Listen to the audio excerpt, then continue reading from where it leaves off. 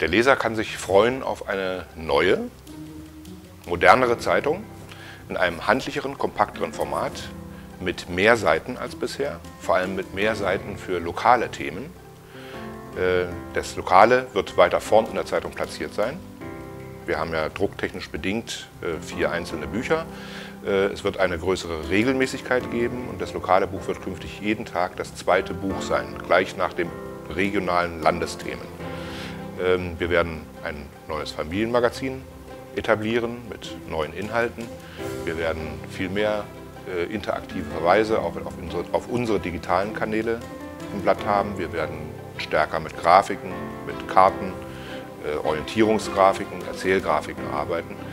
Ähm, und wir werden hoffentlich mehr und bessere Inhalte in der Zeitung haben, die noch näher, wie ich hoffe, an den Menschen in unserer Region, in unserem Verbreitungsgebiet dran sind.